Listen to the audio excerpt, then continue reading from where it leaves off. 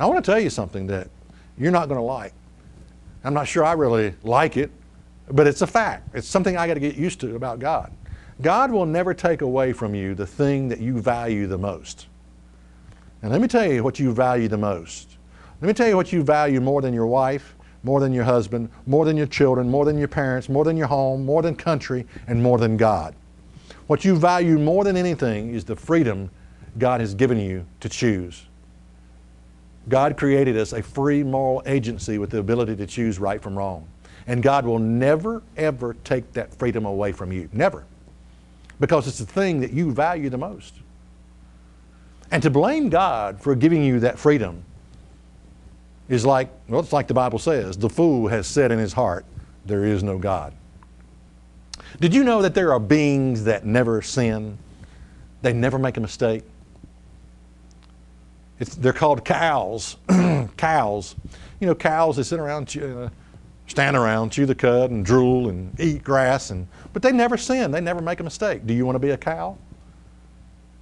You know, God could have programmed you to always make the right decisions, but you're not a robot.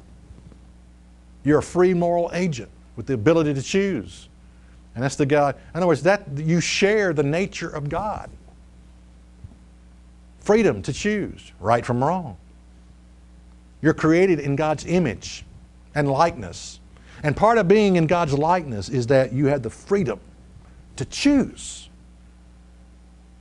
You're not programmed. You're not a robot. You have the freedom to choose.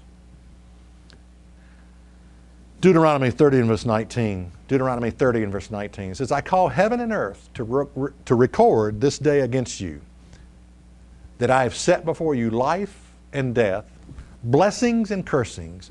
Therefore, choose life, that both you and your seed may live. God says, I want you to choose life. And there's two choices life or death, blessings or cursings. That's your choice.